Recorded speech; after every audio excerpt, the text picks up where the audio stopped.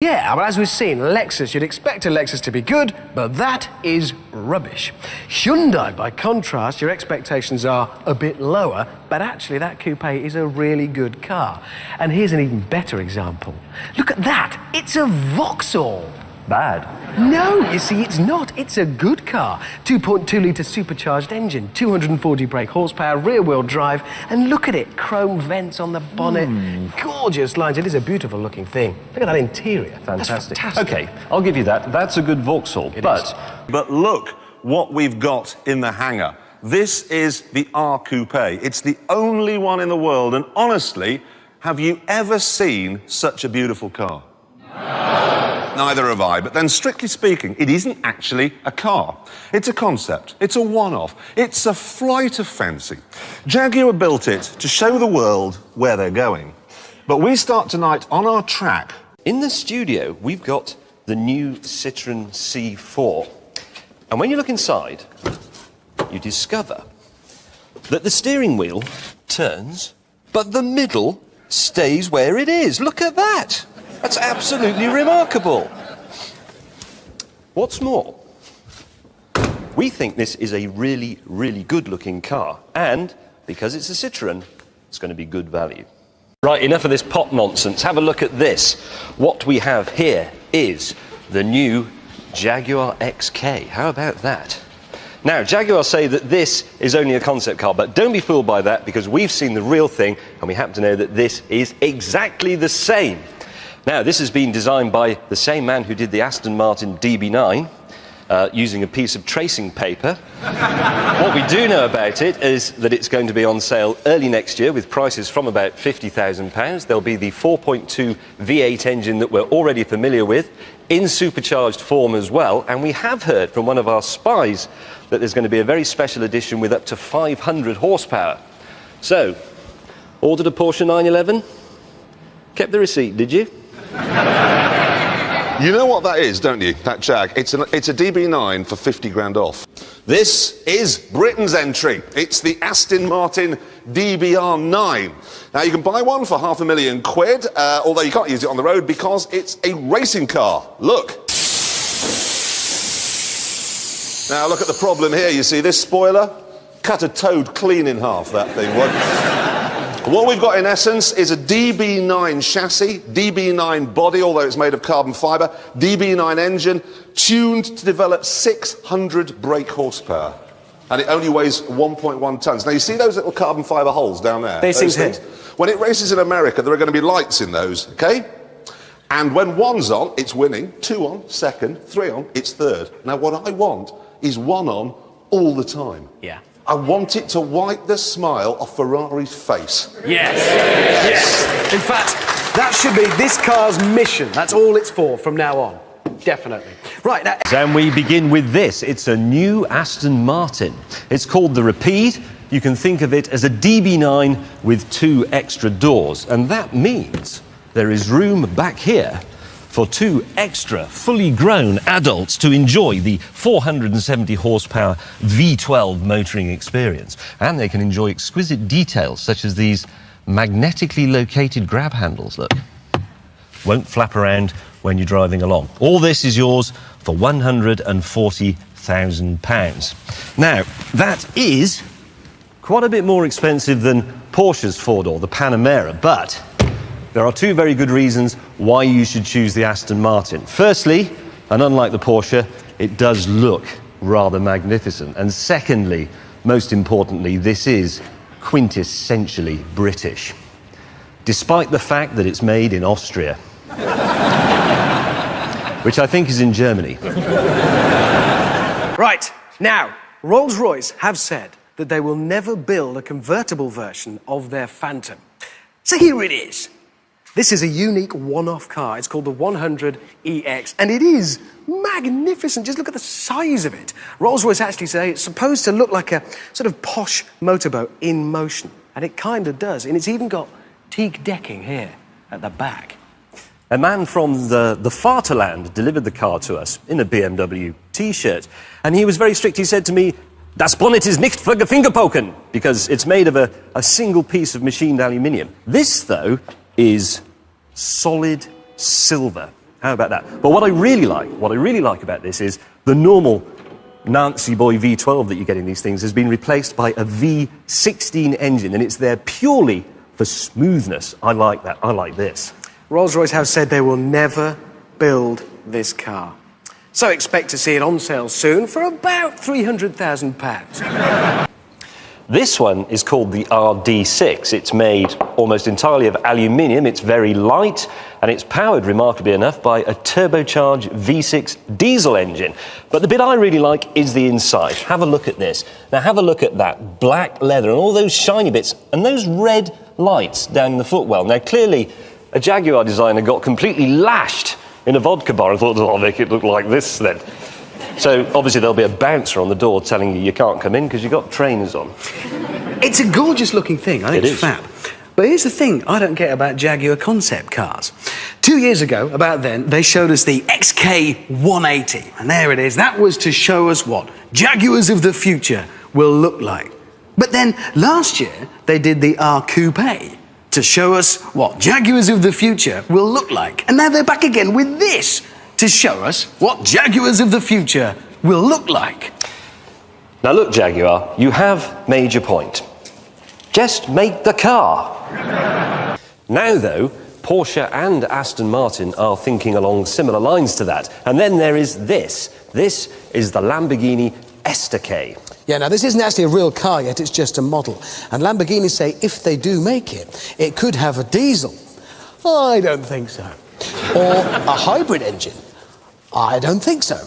Or maybe the V10 from the new Gallardo. That's more likely, I think. Whatever engine it is, though, it will go here at the front.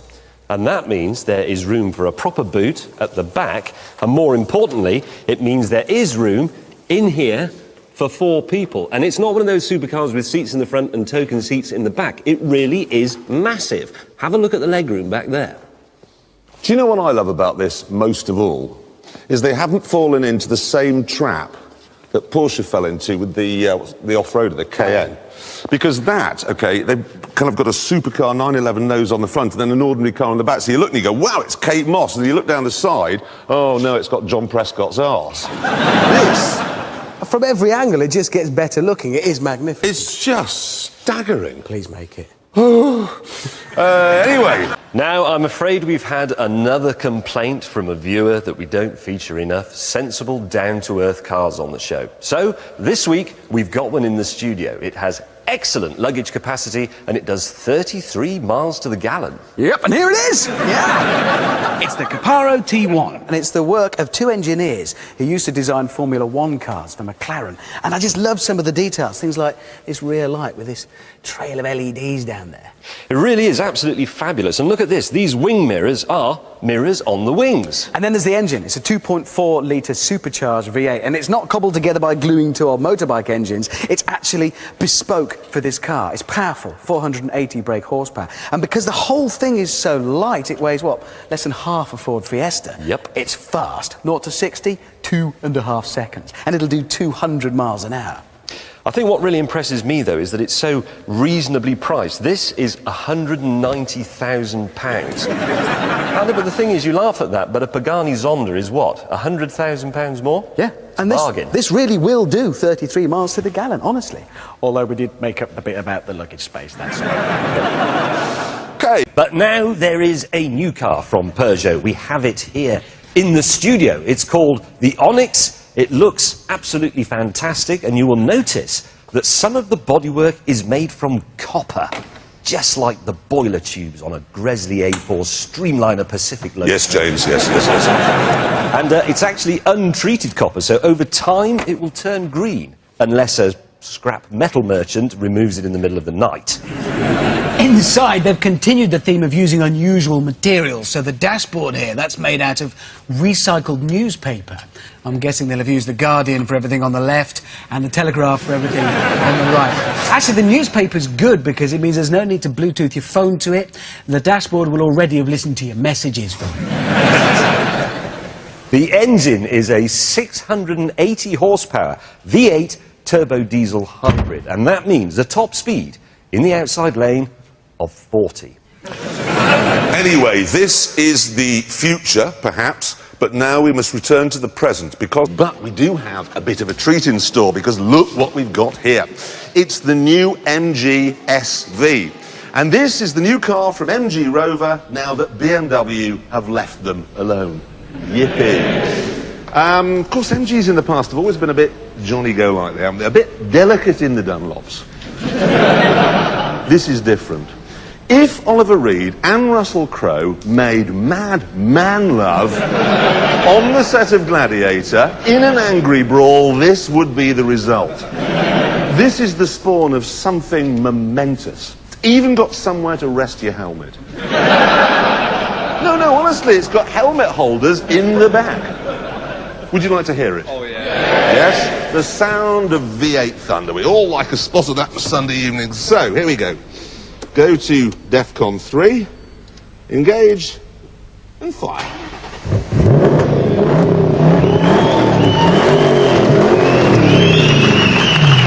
Now, um, this will be going on sale next year, priced at around £60,000 or more if you want the 1,000 horsepower nitrous kit. But you do, don't you? You just do. Very, very nice. To prove it, we've got the latest French luxury car right here in the studio. This is the new Citroën C6.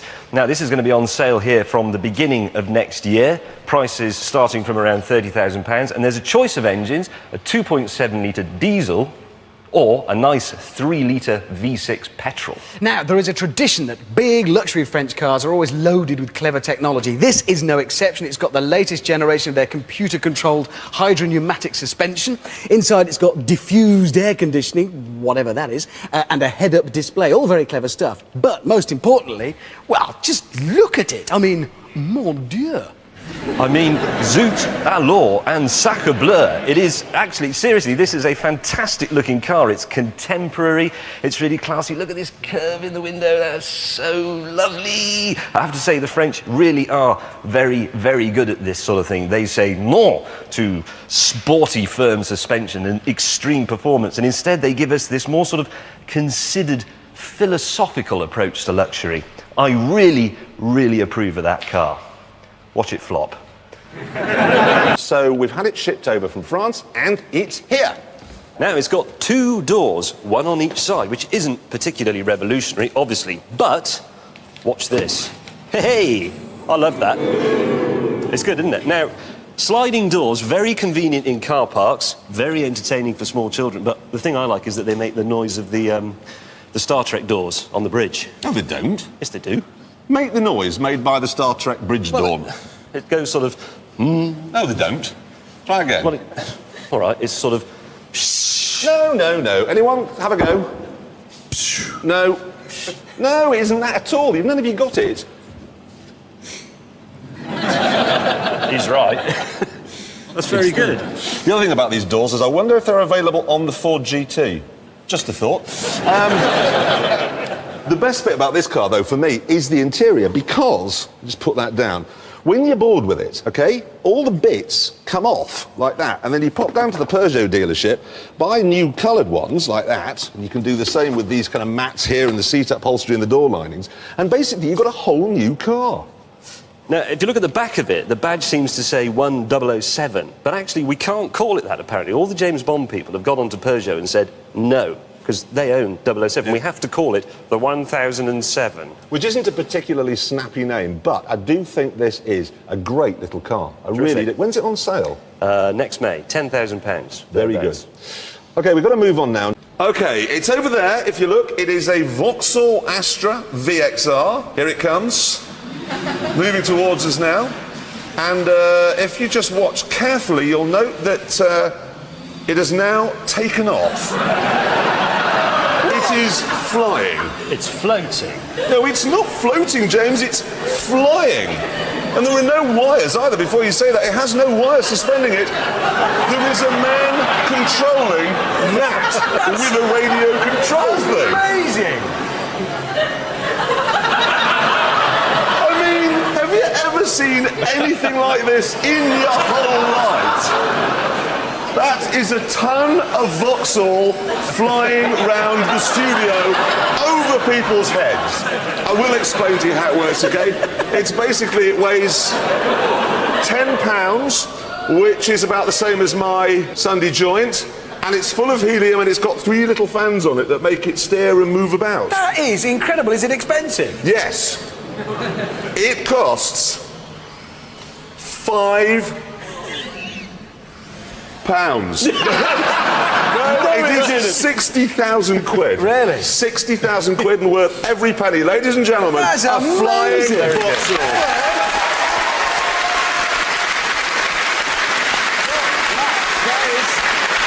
I will concede you have the best radio controlled car. That is, that is stunning, isn't it? absolutely, that is incredible. Stunning. Now, here's another new Ford. It's called the Visos, and look at this shape. Very cutting edge, and then the interior. Wow, and those dials, they're all spangly, clever, up to the minute computer stuff. And there's no mirrors. Look, cameras instead. Ah, yeah. It's a very modern car, no doubt. But look a bit more closely. And look, there's these grills on the flank, and then the shape of this window. Now, you can't fool me. If Ford ever actually make this car for real, this is the new Capri, no doubt about it. Tell you what, though, you know, in the olden days when people actually had Capris, they always had the bonnet up on a Saturday tinkering around with the engine. Fettling. Exactly. Well, nowadays, people always fiddle around with computers. Yeah. So what this has got, which is amazing, well, if they ever get round to putting a bonnet in it, which they haven't at the moment, it'll have a Plug. plug, port, Port. thing. You put your laptop in it, and you'll be able to adjust like the rev limiter and the suspension settings and everything. But it goes further than that. It's very clever because once you've got your laptop plugged in, you can then uh, log on to the internet and you can actually download specifications and settings direct from Ford. And better than that, even, you can then exchange data with your mates and their Visos. So if you got one, I could set the rev limit at like 1500 RPM. Have the headlamps flash every time we went above 10. Not quite what they meant there, really. Or even better, if you get stuck behind one on the road, what you could do is dial up its computer from your laptop, Bluetooth, mobile phone, speed him up a bit. About 150, and then just apply one of the rear brakes. Yeah, that's just stupid. It's stupid. Let's do the news. Right, the new Audi A6. We've actually got one here in the studio, just out. It's marginally bigger than the last one, five inches longer and about two inches wider. Prices start at £24,500, rising to about £43,000. Yes, you- and the power? The power is, well, this is the most powerful one here 4.2 litre, V8. 330 brake horsepower. What a bunch I know. of fairies. How did it get here? I can't believe it. How did it get here with such a miserable amount of horsepower? What if there'd been a hill? Exactly. That's a French power output. It is pitiful. However, they've thought of everything else but the power. The list must have been pretty long because they've actually got to the point where, on this car, I kid you not, you can change the pitch of the reversing warning beep. Um, oh, now. Now we have a very, very interesting new car in the studio this week. It's over here. Have a look at this. This is the new Mercedes CLS. Now, it's available with either a 3.5 litre V6 or a 5 litre V8 engine. Goes on sale next year. We expect prices will start from about £45,000. But, and here's the really interesting thing it comes with an automatic gearbox that has seven forward speeds. And for reasons we just can't quite fathom, two reverse speeds. Yes, that's very interesting, Hammond. But this is more interesting, I think. It's the styling of the thing. Have a look. It's been made to look like a very svelte coupe. But it is actually a four door, and more to the point, the doors are pillarless. How cool is that? For some reason, that's just, I don't know, fantastic. I think if we were doing the cool wall this week, we could have our first cool Mercedes. Quite possibly. Okay. Right, on to some really important stuff. This is the first chance you've had to see the new Aston Martin DB9. It's a replacement for the DB7, and no, I don't know what happened to the DB8 either. But what I can tell you is that it's got the same engine as the DB7, V12, 6 litre, 450 brake horsepower. But apart from that, everything is new. It's got a new type of very light, very stiff chassis, and inside, well, you get a lot more space than you did in the old DB7. And they've gone for a kind of Range Rover feel, really. There's lots of wood, lots of leather, but it's very, very modern. Gearboxes, you can either have a proper manual or No gearbox at all by the looks of things. I think it's an automatic. Uh, the only thing I would say in there, not quite as many Ford switches as I would have liked. Give a- Needs an air of quality.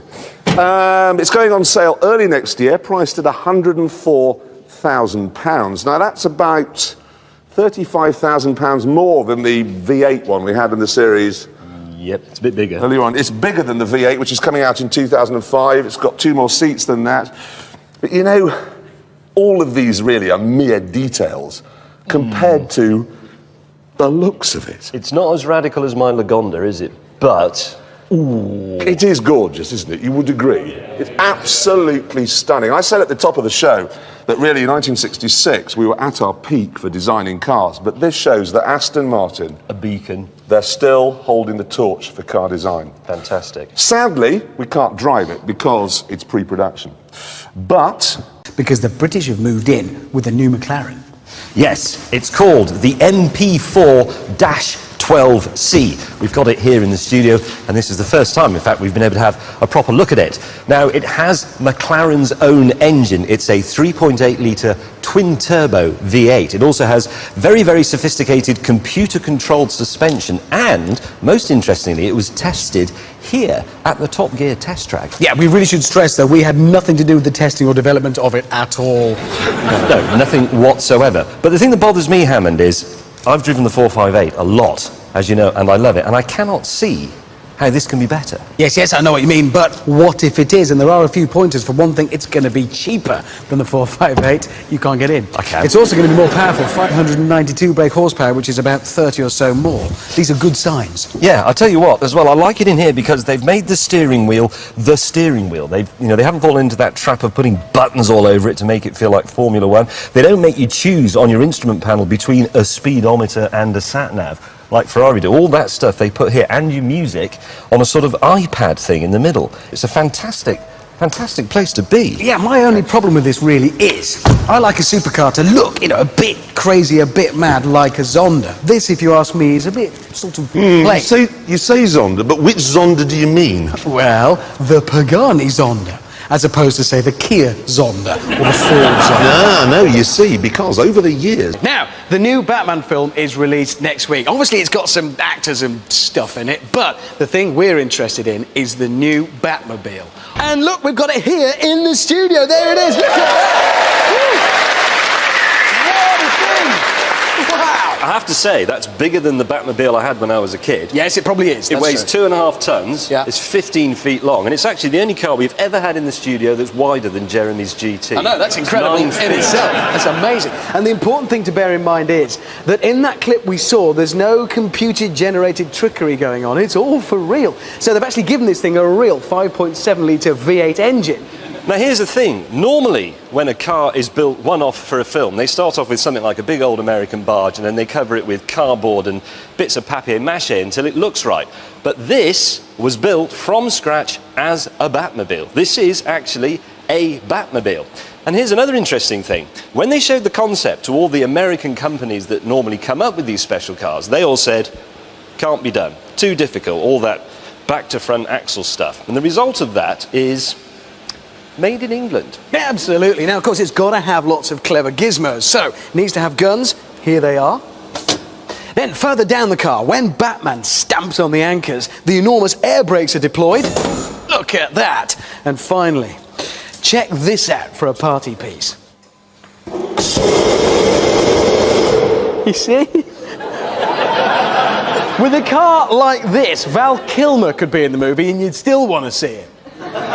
We thought you might want to take a quick look at this. It's the Jaguar CX75, and it's kind of Jaguar's 75th birthday present to itself. And, well, I mean, it is a bit of a looker. And it's full of little references to great Jaguar cars of the past. This fin refers back to the massive fin on top of the old D-Type. And then the back has been styled to have something of the old Jaguar XJ13, one off of the 1960s about it. But here's the thing, in a modern world, there's no denying, I think that is the thing of beauty to behold. But that beauty is much more than skin deep. Absolutely. This is, in fact, an electric car. There is an electric motor powering each wheel. But you don't have to plug it into the mains to charge it up. Because if we look in the back, we see a pair of gas turbines, jet engines, if you like. Now, they can either generate electricity to recharge the batteries and increase the range, or they can feed power directly to the motors in the wheels, in which case this car develops 780 brake horsepower. And the other remarkable thing it has is a big spanner. Hello.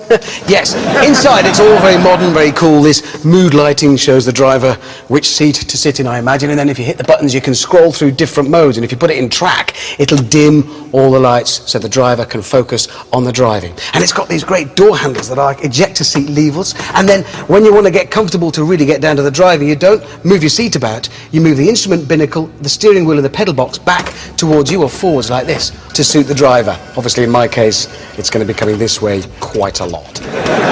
Now, Jaguar say this would do 0 to 60 in 3.4 seconds and 205 miles per hour. And the great thing is that the gas turbines will run on pretty much any flammable liquid. So you could fuel it with petrol or with diesel, or if you wanted to save yourself quite a bit of money, single malt Scotch whisky. Anyway, pray silence now, please, for the most breathtaking car we've ever had here in our studio. It is the new Lamborghini Reventon. Rebenton. No, it's Reventon. No, no, Rebenton. It's Reventon. is- I can prove it. Look, it's got a in there. It's got a V. Reventon. No, I know it's spelt with a V, but it's pronounced with a B. Why? I don't know. They've told us it's B, Rebenton. Anyway, it has a 6.5 litre V12. B12. Yeah, whatever. It can do. 200 Whatever. Please stop. Stop. That's very annoying. It can do 212 Very miles an annoying. hour. Leave it. it is an awe-inspiring car. It is, honestly, I'm with you. It's styled to look uh, like an F 22 Raptor, you know, the new stealth fighter. And it really does. It's, this is what Lamborghini should be doing making cars where you just go, wow! It's just fantastic. And it's not just on the outside either, it's clever inside too. We've got some pictures here. The dashboard is a thin liquid film transistor like you get in aircraft. That's on car setting. If we switch it now to aircraft setting, look at that! I want that Yeah. in my life. Yeah, it's just covered in things you want. Round here, the rear lights, LEDs in little arrow shapes, these enormous fans down here behind these grills. And round here, the wheels have got carbon fibre fins on them that act as a giant fan to suck in cold air to cool the brakes. And just, just a fuel filler cap. Look at that. Couple of problems. One, they're only making 20, only one's coming to Britain. The other thing is £800,000. Yeah, that is quite a lot. But with this, you would get a lot of badge. Badge. Oh, no, no, no, no. I think I got away with that.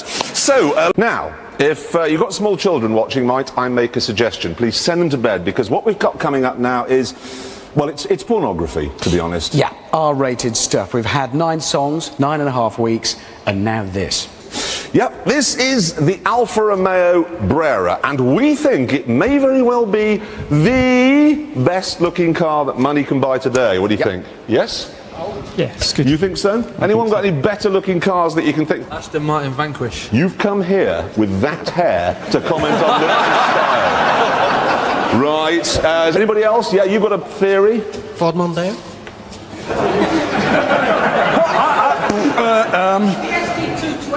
The best looking car Yes, in is. the world It is. Ever Yes. is a Ford Mondeo ST. Your aspirations are pathetic, man. Have you seen the lights? I mean, look at the way all this. It's just gorgeous from every angle. I mean, everything about it. Have you seen the door handles? Look, it's all special bits. I only have to imagine this in black with tan leather, Oh, and I'm nursing a semi. Yeah. Know, you could, you could set up one of those premium phone lines. Could you tell me about your Brera? Is it black?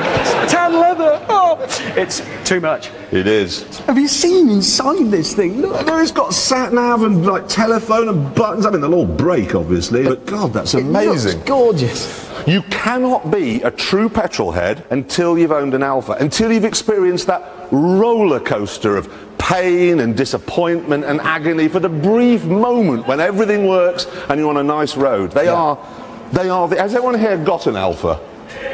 Yes, you see, human beings are way over there at the back. They had to walk the last 10 miles, but the first time was brilliant. Absolutely, they are gorgeous cars.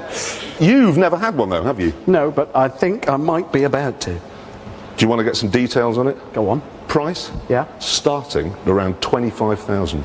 You're joking. No. Something that, looks like that? I know. 25 to about 35 probably for the, uh, depending on what engine you have. Engines, you've got 2.2 litre, 3.2 V6. You can have a diesel if you're the sort of person who thinks the Mona Lisa should have a moustache. Yeah, that dampens it down a bit, but It is down a bit, but nevertheless. it's just magnificent. What I'd love to meet is someone who looks at this and goes, no, I think I'll have a BMW actually. Because I think now we have a new definition of insanity. Someone who could buy one of these and then buy something else. yeah.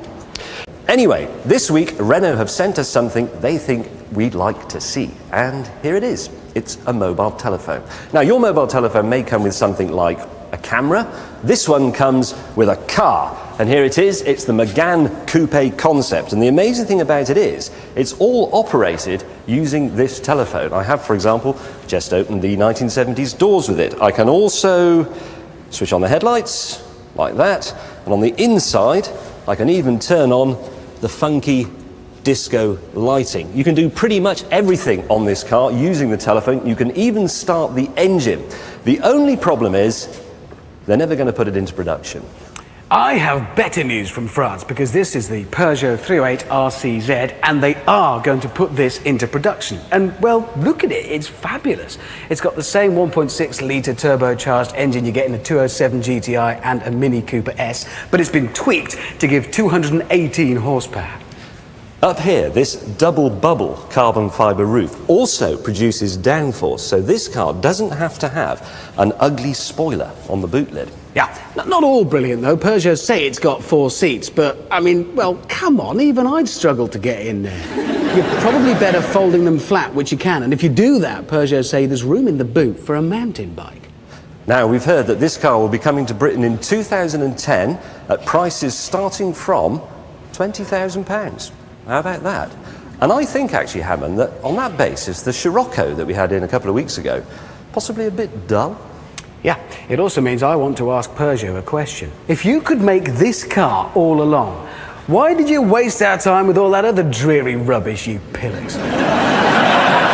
But now they've decided to have a go at a car. And here it is. It's called the Crossbow. Now, the body is made up of plastic panels, just like it is on the bike. You can see all the innards, like you can on the bike.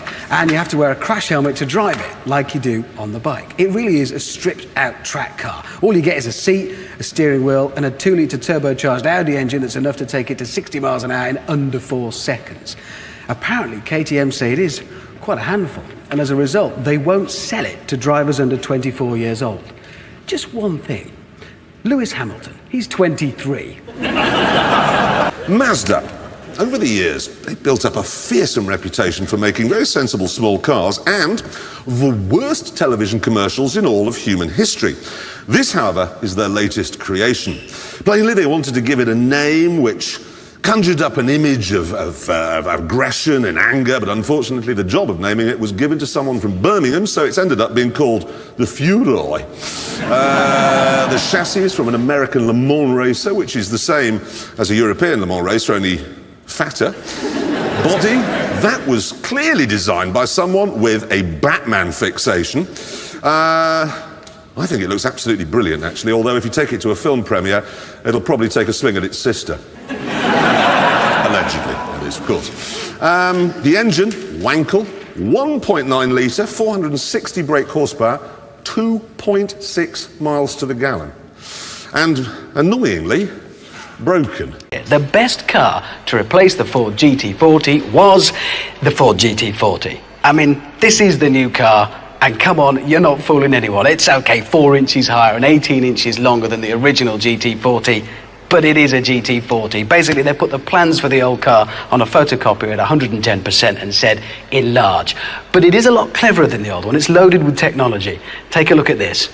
So you want to see the engine? Right, there it goes. That's actually going to take a moment or two. In the meantime, you've pulled into a petrol forecourt. Obviously, everybody's going to be looking at you, but if they're not, this should tip it. Have a go. Here we go. Let's get to the fuel. Look at that. That's just to put your petrol in. That's unbelievable. We can possibly squeeze in and have a look at the engine now. It's a 5.4 litre V8 supercharged. That's about 500 brake horsepower. That should be enough. Bear in mind, this is a very, very light car indeed. But take a look inside. You've got to have a look. This is just. It's just breathtaking. Look at the switches. Each one looks hand carved from a lump of aluminium. And the gate around the base of the gear lever. Look at that. None of that nasty rubber full of bits of biscuits and old chocolate. Of course, this isn't real, it's a pretend one. I don't know what it'll be like when they make it. And oh, yes, they are going to make it. Ford have announced this week they will be putting this into production. But it's going to be expensive. It's going to be on sale in America from 2004 at about $150,000 a piece. And you're going to be very, very lucky, even if you've got the money to get hold of one. They're going to be incredibly exclusive. Basically, you're going to have to know somebody at Ford. I know. Talking about James Bond, new film Die Another Day. And great news because after 15 years of unforgivable disloyalty, Bond is back in an Aston. And this is it Bond's Aston Martin Vanquish. Now, obviously, a Bond car, it's got to do clever stuff, and it does. We've got the obligatory ejector seat in there, and then down here at the front, the grille drops down, and out come two machine guns, and then, oh, thank you, and then four missiles. Thank you. Four Oh, yes. Well, for once, Bond is completely outgunned by the baddie. This is his car, a Jaguar XKR, and it doesn't have four missiles in the front, it has 18 missiles that come out there. It also has spikes in the tyres, and we can peel down the bottom of the door here to reveal two heat-seeking missiles. It also has central locking. You can lock both doors and the boot with a simple press on a button on the key fob. then, behind the driver's seat and the passenger seat, it has a bulletproof screen which rises up like so. A Gatling gun, obviously. Listen to that. That's a great Bond noise, isn't it? I love things that do that. But the pièce de résistance is here, in the boot. Open it up. Mortar bombs in the back. Oh, love it.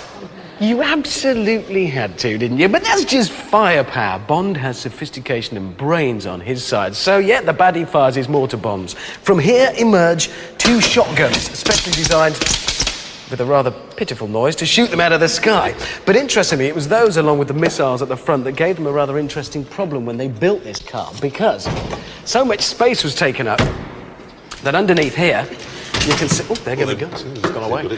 Um, they had to get rid of the original V12 Aston Martin engine. It was too long, so they replaced it with this Mustang V8. It's that much shorter, there's more room. And the really good news about that, of course, is because the Aston engine's gone, so's the stupid gearbox. Look, Bond gets a proper automatic, which is a good job, because, of course, if you had to do a three point turn with the stupid flappy paddles, the world would blow up by the time you'd finished. Interestingly, despite the rather depressing difference in firepower between the two cars, under the surface they're really very similar. They've both got that same Mustang V8 and they've both been converted to four wheel drive, which they had to be because in the film they have to be driven on ice. The thing that really excites all of us about this is that in this world of computer generation, they could have just got some boffin at a computer to type away and computer animate the things, but they didn't. They built them for real. Here they are, actual, real Yeah. Bond cars in the metal. So Audi have taken their swing at the Mercedes and they've sort of missed. Jaguar are next to step into the ring in this heavyweight contest with this, their new XJ. Well, not this exact one, obviously. On the ones they sell to real people, they'll put some paint on it, I presume. It is a handsome car and it's long. It's as long as the S-Class. But that's not going to be enough alone to tempt the world's plutocrats away from their beloved three-pointed star. It needs to be special. And it still is inside. You still get that cosseting feeling with this high centre console and quite sombre dark wood and swathes of leather. It's still a lot like riding in a mobile gentleman's club. Don't be deceived, though, because behind that wooden leather veneer, this is a very, very high tech car. Think of it as being like a tweed spacesuit. No, no, I'll explain, I promise. You see, like the Audi, okay, it's made from aluminium, but it's built in a completely different way. This, okay, this is the Audi. Now, it's got an aluminium skeleton onto which all the aluminium body panels are bolted. So you've got the weight of the skeleton and then the weight of the panels. Now, the Jaguar is more like a lobster, okay? A lobster. A lobster. It's got an exoskeleton. What you see here, this is the structure. That's it. A lobster. Exactly. You don't get it, do you? No. Do you get it? Yeah, yeah. He gets it. You- know exactly what I mean. That means it's light. It means you haven't got doubling up. It means that you're going to go, you have more speed, you'll have more economy, you'll be kinder to the environment. A lobster.